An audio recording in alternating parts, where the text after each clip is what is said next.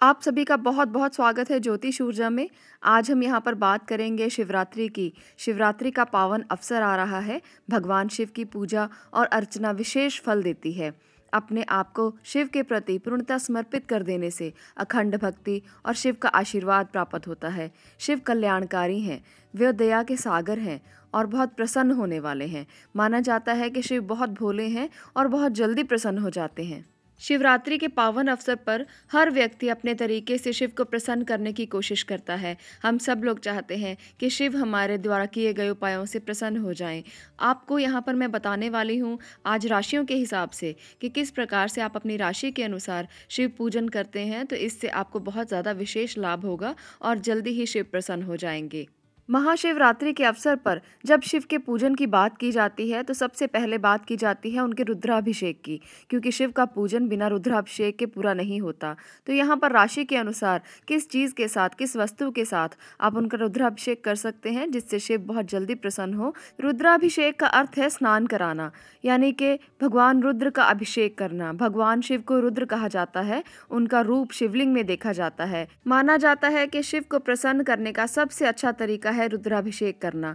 और वो अगर किसी ब्राह्मण के हाथ से हो तो और भी अच्छा माना जाता है। वैसे भी जटा में गंगा को धारण करने वाले शिव को जल सबसे अधिक प्रिय है। इसलिए रुद्राभिषेक को बहुत अच्छा माना गया है। तो आज हम यहाँ पर जानेंगे कि राशियों के हिसाब से आप किस वस्तु के साथ उनका रुद्राभिषेक कर सकते हैं, ताकि आप विशेष फलों को प्राप्त कर सकें।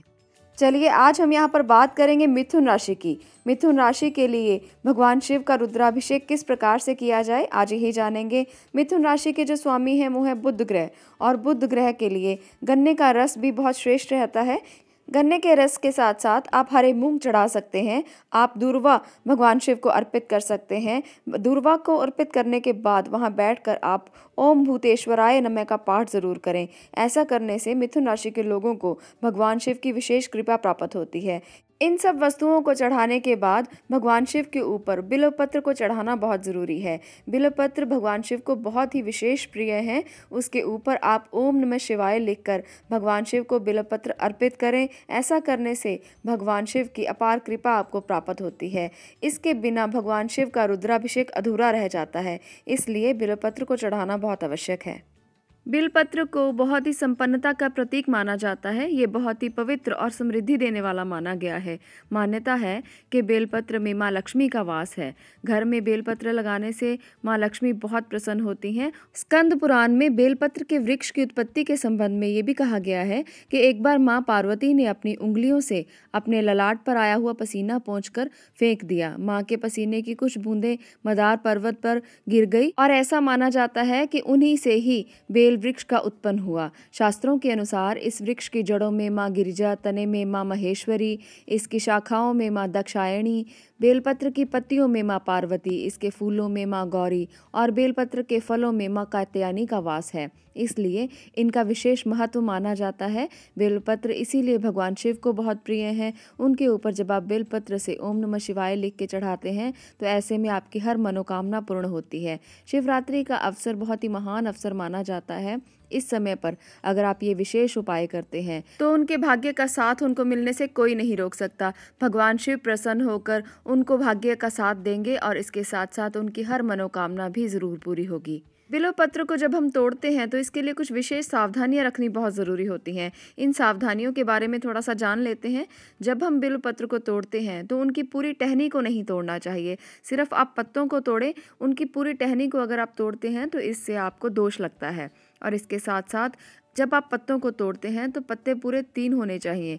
गिनती में पत्तों की संख्या तीन हो, इससे ज़्यादा आप टहनी को ना तोड़ें, ऐसा करने से आपके दोष लगेगा। दूसरी जो विशेष सावधानी है, जब आप बिल पत्र को शिवलिंग पर चढ़ाते हैं तो चिकनी तरफ़ को शिवलिंग पर रखें। दूसरी तरफ़ को कभी नहीं रखना चाहिए, ऐसे में विशेष ध्यान रखने की ज़रूरत होती है। अगर बेलपत्र आप चढ़ाते हैं तो उसके ऊपर ओम नमः शिवाय लिखकर अगर चढ़ाते हैं तो और भी पुण्यदायक माना जाता है।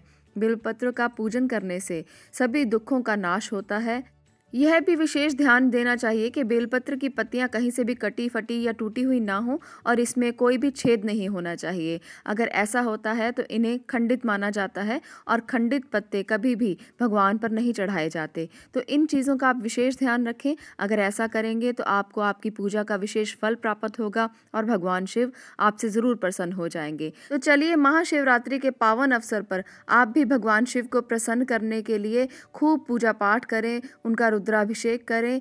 आज के लिए इतना ही। अगर आप लोगों को ये वीडियो अच्छी लगी हो तो इसे लाइक करें, इसे शेयर करें और इस चैनल को सब्सक्राइब करें। वीडियो को देखने के लिए धन्यवाद।